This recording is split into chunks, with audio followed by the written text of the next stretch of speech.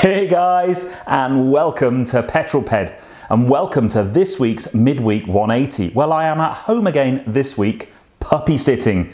Yes, more on that later, but if you've not seen one of these before, this is my midweek update where I bring you my news, views, and information about upcoming reviews, all filmed in one take. I'm going to put 180 seconds in the bottom left hand corner of your screen, and that's it. A very simple format. So, without further ado, let's get cracking with this week's Midweek 180. I shall start my timer. Okay, first comment last week was the Speed Machine 35. That is now 2 1. Speed Machine 35 to Vinnie Vincent. Whoever puts the first comment this week, I will give you a shout out next week. Let the battle royale commence. Where are you and what you're doing? I've got two of those. Jamie Pickles was watching videos from Detroit Motor Show, but then tuned into the Midweek 180. I like your style, sir. Uh, and Lewis Ramsden was watching at two o'clock in the morning because he couldn't sleep. But wherever you are, right now, whatever you're doing, put it in the comments below and I will give you a shout out next week. Now, last week's question was all about what you thought the most unreliable cars were. Now, it was really interesting.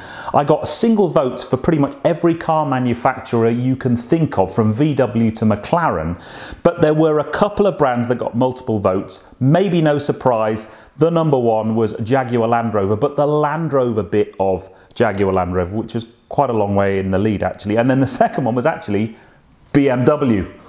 I'm going to leave that one right there. Please don't have a go at me in the comments. It's your thoughts, not mine.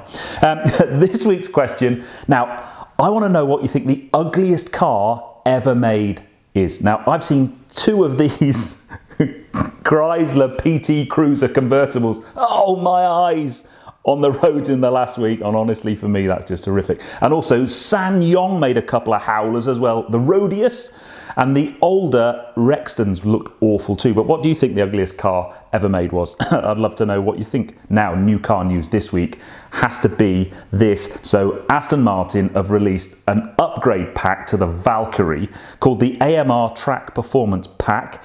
Um, now, basically, you get bolt ons, you get a new front clamshell, a complete second set of exterior panels, titanium brakes, track suspension, alloys with some really cool aero dishes on them, and apparently makes it 8% quicker. But also some really lovely renders of new colour options. This one I particularly like. It's called Slipstream Green. But yeah, so if you if you buy an Aston Martin Valkyrie and decide it's not fast enough, then you can make it go faster and make it look cooler, which I think is really, really very smart.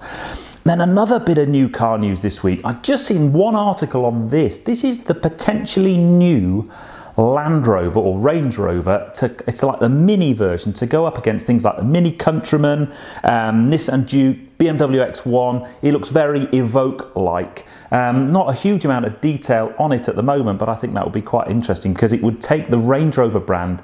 The target price of that car is below £25,000. I would love to know what you think of it.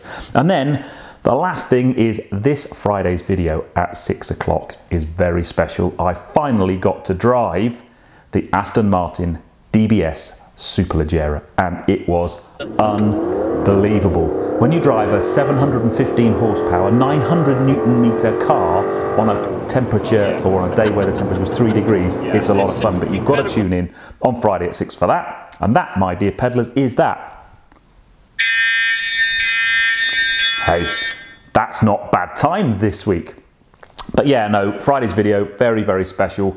Um, I actually take it out with James from Aston Martin Chichester and he gives us a really good chat around some of the really special things about the car. So you cannot miss that. It's a very, very special car. Um, one of the most powerful and valuable cars I've ever driven actually. But I'm going to draw this video to a close there. If you've enjoyed it, please give me a thumbs up. Comments below are always welcome, and if you haven't done so already, please subscribe to Petrol Ped for plenty more content to come, and I will see you on the next video, which is this Friday at 6 o'clock for the Aston Martin DBS Superleggera. Now, I promised you some petrol pup updates, so I'm just going to walk over, grab my camera. I've got two things to show you before we go. So, first of all, I get my camera off its tripod.